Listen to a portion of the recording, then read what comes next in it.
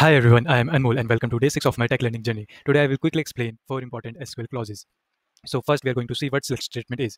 Select statement is used to fetch data from a table or you can say it is used to display data as output. But we can also filter, order or group our data using select statement. So what a clause is? It is like an instruction which gives the database a specific command like what data to pick, where to pick it from, how to filter it or how to sort it. So I'm going to open MySQL Workbench. Here I'm using student DB database. After this I'm creating student tables which contains these columns. Now I'm inserting total 8 rows.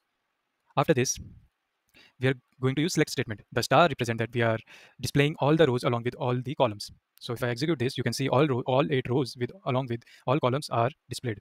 If I want to display only one particular column, I will write its name here. So if I execute this, you can say only age column is displayed. After this, we are going to see what where clause is. So where clause is used to filter out data from a table. I wrote select statement after that where age is greater than 19. So students whose age is greater than 19 will be displayed as you can see.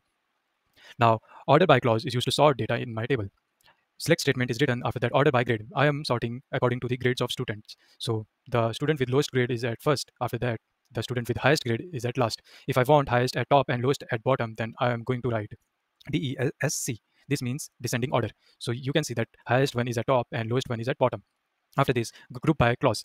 So I'm displaying department column and I'm counting using count function Start represent that I'm counting all the rows and I'm displaying this as total students. As here represent that we are creating an alias or a temporary column for displaying our data.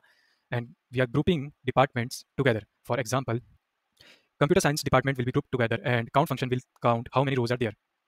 So if I execute this, you can see computer science have three rows, mathematics have two, three rows, and physics have two rows.